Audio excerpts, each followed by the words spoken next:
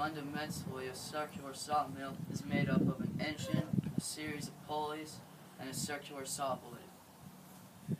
This engine runs about 3,000 RPM, and the small pulley here pulls a big pulley and makes the circular saw only run 500 RPM. Logs are very big and heavy, and they're really hard to move over.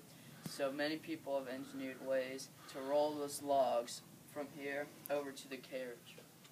The logs roll over here into the carriage and then are set in by a series of teeth to hold it down. Wait a second. Wait a second. All right, go. The sawyer pulls this stick right here to make the pulleys pull the drum right here. The drum pulls the cables and it takes the whole carriage over to the saw. The logs come through here, go through the saw, and the boards fall off and land on those rollers.